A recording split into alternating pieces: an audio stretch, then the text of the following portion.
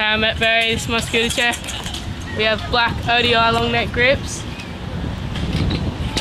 bat wing bars, strong bars. Um, Apex compression clamp V1, they're better than V2. We have a FSA pig headset, spins good. Um, a blue Phoenix deck, best deck in the world. On the back wheel we have a purple MTB flow, a Phoenix flex bender.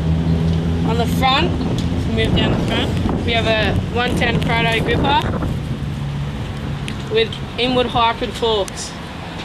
And that's my scooter. Here's some clips.